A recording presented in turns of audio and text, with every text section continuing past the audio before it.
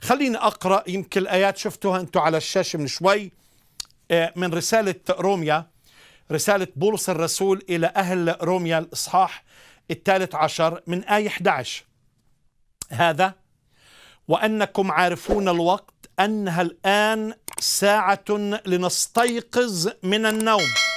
فإن خلاصنا الآن أقرب مما كان حين آمنا. قد تناهى الليل وتقارب النهار فلنخلع أعمال الظلمة ونلبس أسلحة النور.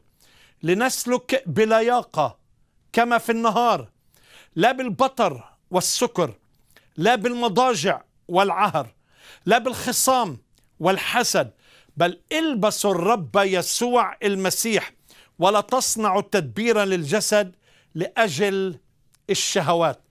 هاربين من الفساد الذي في العالم بالشهوة.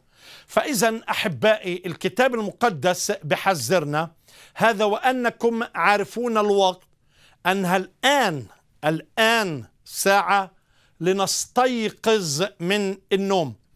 وطبعا مش بيتكلم على النوم الجسدي لأنه كل شخص محتاج للنوم ولكن بيتكلم عن النوم الروحي.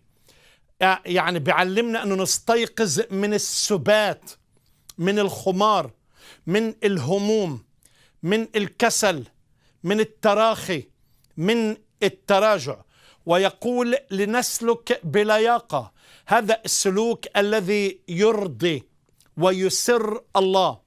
هذا اللي بيعبر عن شخصيتنا وهذه الشخصية التي تعبر عن كياننا وهويتنا كمسيحي مؤمن موجود في هذا العالم.